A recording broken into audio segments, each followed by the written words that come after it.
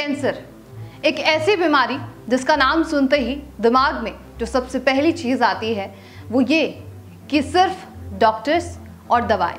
लेकिन उसके बावजूद भी हम पूरी ज़िंदगी ठीक नहीं हो पाएँगे।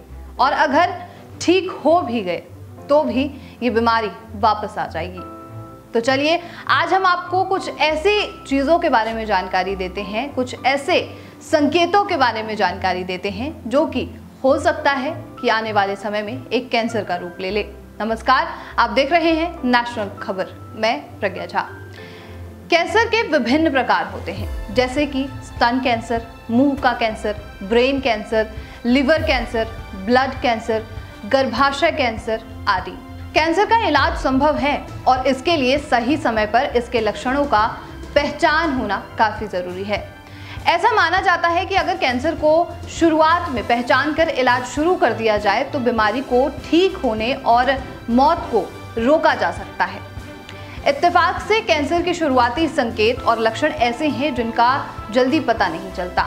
हालाँकि कुछ संकेत जिन्हें आपको इग्नोर नहीं करना चाहिए और अगर ये संकेत आपको दिख रहे हैं तो तुरंत डॉक्टर से संपर्क करना चाहिए।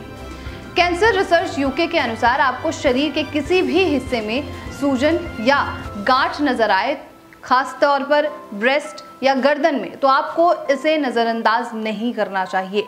कई बार कैंसर की गांठ धीरे धीरे बढ़ती है और दर्द भी महसूस नहीं होता।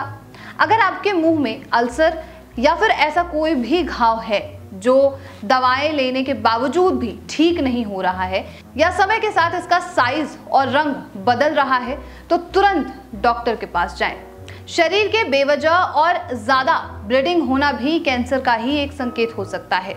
ये उल्टी और पेशाब के साथ हो सकती है। ऐसा होने पर तुरंत जाँच करानी ज़रूरी होती है।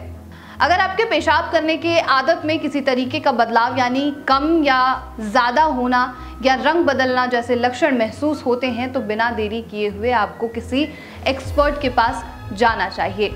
अगर आपको लगातार खांसी हो रही है, जो कम नहीं हो पा रही है, और खांसी की वजह से आपकी आवाज़ में भी बदलाव आ गया है और कई हफ्तों से बनी हुई है खांसी तो तुरंत डॉक्टर के पास जाएँ, उनसे बात करें, इलाज लें।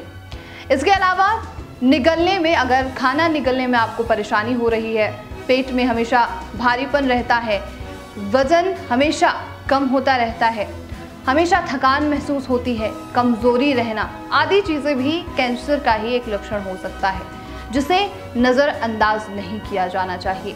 तो ये थी वो पूरी रिपोर्ट जिसके बारे में हमने जानकारी दी आपको कि आखिर कैंसर होने के जो वो शुरुआती दौर के लक्षण होते हैं वो क्या होते हैं? और अगर आप में से किसी को भी इस तरीके के लक्षण नज़र आ रहे हैं तो एक बार अपना बॉडी चेकअप कराना ज़रूरी है। एक बार एक्सपर्ट से मिलना ज़रूरी है। और ऐसे ही और ख़ास खबरों के लिए नेशनल खबर के साथ बने रहिए।